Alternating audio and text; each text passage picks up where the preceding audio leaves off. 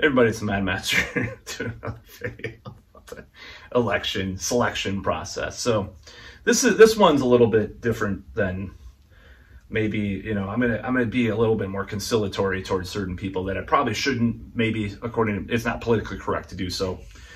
And I'm just gonna talk about this a little bit because I I have a lot of complex ideas. It's a little more, more layered and nuanced than a lot of people want to be nowadays. So I'm just gonna say this, like uh, what I propose is all the dude bro podcasters, Bernie Sa- and Bernie Sanders, people like that, should try to push, dare I say, push Trump, influence Trump to be more left wing or more populist or whatever you want, however you want to put it. And the reason for this is because people were talking about that with Biden. Like, I voted Biden and I know he's not perfect, but I'm going to push him left. So, ironically, I'm not, you know, I'm kind of violating my own ideas by saying this because I didn't think he would. But, you know, there's certain things that he did do that are like a little bit more better, makes sense. And you could say they're bad, but, you know, they're more left looking uh, uh, from the outside. Of course, it could be just placating his base and stuff. So, I don't think it necessarily worked with him, but I'd say like it it seemed to have some effect, but you know, with other things, a lot of it was just for show, you know, of course. Now, with regards to Trump, though, he's a different type of politician. He's not like, um, you know, the thing is, he's not tied to the party like uh, Biden would be, you know, career politician all his whole life. So I think this this could be a real thing, and it already seems to have an effect. Like for example, recently Mike Pompeo, you know, he he said he was not going to rehire him because MAGA does not like him. They don't like neocons, or they like kind of pseudo pseudo non neocons sometimes, unfortunately. But well, that remains to be seen. It could hire someone worse. Who knows? That wants to go to war with everybody. But yeah, that's one thing. Another thing is like a really specific story is I think it was Kim Kardashian went to the White House during his last term with Kanye West. and they got the, uh, you know, the First Step Act pushed and in place. So this, and that was, that's law, you know, law enforcement reform, you know, stuff like that. So a lot of times it's what's popular, who, who's pop, who's around this guy, who pray, who kisses his ass. And my whole thing was during the whole, the first administration, why didn't they do that? Why didn't left do that? They were just attacking him left and well, not left and right politically, but left and right, if you know what I mean.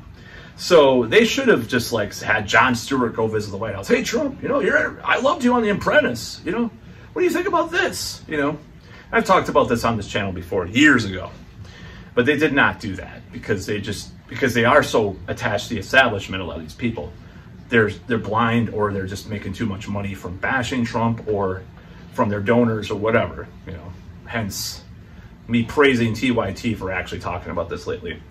So this could be a real opportunity for a better future because, for example, uh, Ronald Reagan, you know, I'm not a big fan, you know, he's, there's a, a lot of dead bodies in Latin America is an indirect result of him.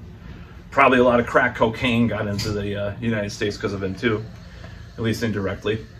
So I'm not a big fan of the guy for a lot of reasons, but they had a, you know, he was really influenced by films. You know, he's like, I don't do a good Reagan impression, but some people seem to like it. But I'm not. I'm gonna try not to. Is like, you know, go where no no one has gone before. You know, like he quoted or make my day. You know, he, he quoted movies and stuff, and uh, quoted Back to the Future and Dirty Harry and stuff. He was a movie guy because he was an actor, of course. So he saw, he watched a lot of movies in the White House. And there was a cable movie called The Day After that happened in 19, I think it was 40 years this year. Or maybe it was last year, 40 years. And this whole movie is, of course, about nuclear war and Armageddon. So he claims, or some of the, his advisors claim that he saw this movie and he was so freaked out. He was so scared by this film I don't think he immediately called Mikhail Gorbachev when he, you know, got got into power, but he was like, "Yeah, we got to do something about this," because he was totally pushing that nuclear stuff. I mean, there's a lot of political stuff that happened as a result of that.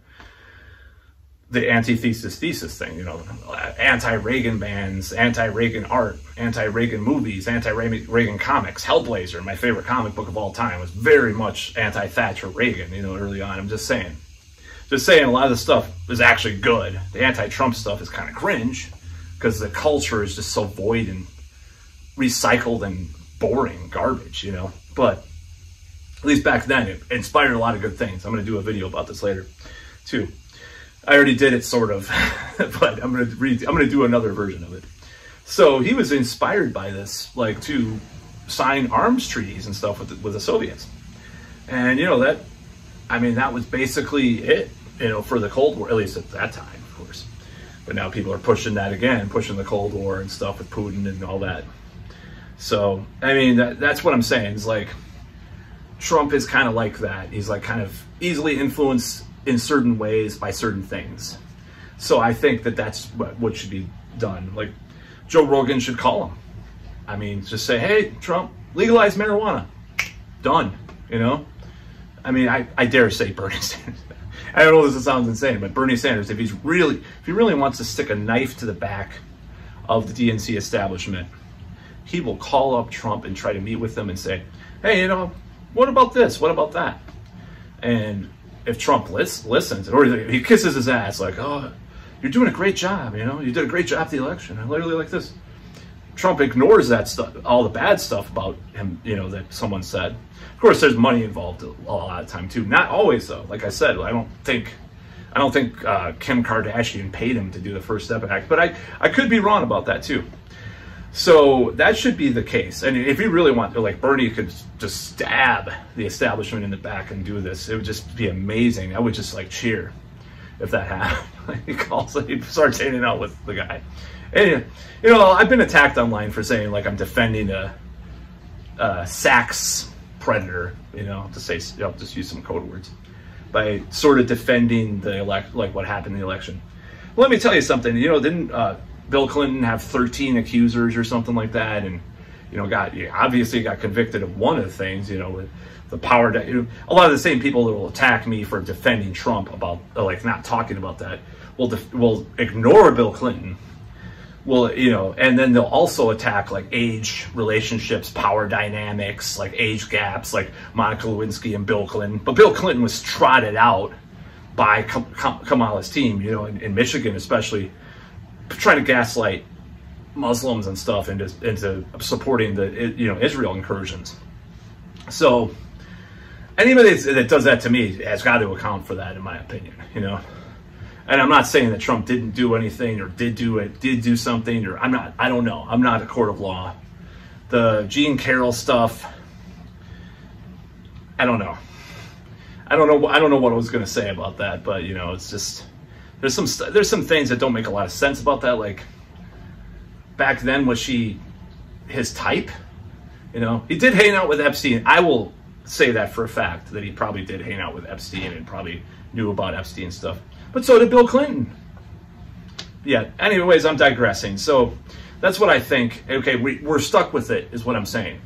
We're stuck with it, bad or good and we have to deal with it. You have to move on in life. I lived four years under the guy. My life was so-so, and sometimes it was great. Like 2018, 2019 were just killer years for me for career reasons and other reasons. But, uh, you know, I just, and, I was really advanced in life until, you know, things took a nose nosedive the next year, or early, actually late 2019 is when things started to take a nosedive in my life. But I'm not going to go into every reason why in this video, but you know, it's like it'll be good and bad. I don't know. We'll see. But those podcasters, all the Theo Vons and Joe Rogans and Tim Dillon's, who I loved. I saw Tim Dillon live just a couple, like a month ago or less than a month ago, I think. And it was awesome. And then he had JD Vance on. I'm like, uh, I don't know about this. But then his recent pod, his recent pods have been pretty good. So I don't know. That's the thing. Like if you're gonna if we're gonna have those people influence Trump, I'd rather have those guys influence Trump than some even some establishment Democrat dumbass that's been at it for 40 years, like that just wants to water this watered down crumbs to feed to their base. And it's like that's what's been going on, you know.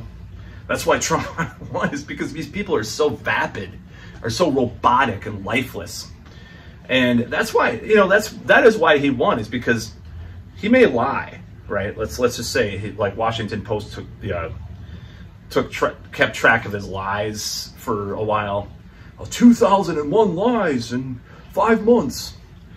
But he doesn't lie about who he is. Like he comes out that's him you know, when you have these other pol- faceless politicians just going, you know, just they seem so fake. You know, you watch them, they seem like actors, like Trudeau, like watching him, like I'm Trudeau. Uh, you don't have any free speech anymore. Uh, you know, and that's that's pretty much what people see. Trump just says says what's on his mind. He's just like he's fucking crazy. I love the McDonald's thing and the tr- the truck. The garbage truck thing and the speech after the garbage truck thing where he's still wearing the garbage truck uniform it's just it's comedy gold, and I didn't vote. I didn't vote for him. So, but I'm just saying, you know, I I can see why people did in a lot of ways. But yeah, there's some bad stuff. He said some racist stuff. That Central Park Five, that shit was ridiculous. So that he like was so like unquestioningly un cynical about the charges. And there's a lot of stuff like that. There's other things too, though. There's there's little things. I mean, he has to account for the uh, many BIPOC people that voted for him this election and, and all the women too. He has to do that now. He has to be, account- he's accountable to them because they voted for him, not just white rednecks who uh, believe QAnon anymore, you know? Not that that's, that's only people who voted for him, but that was a, a bigger percentage of them last, last time he won. So, or didn't win, you know, you know what I mean? I don't know what I think about that. But anyways, that's about all.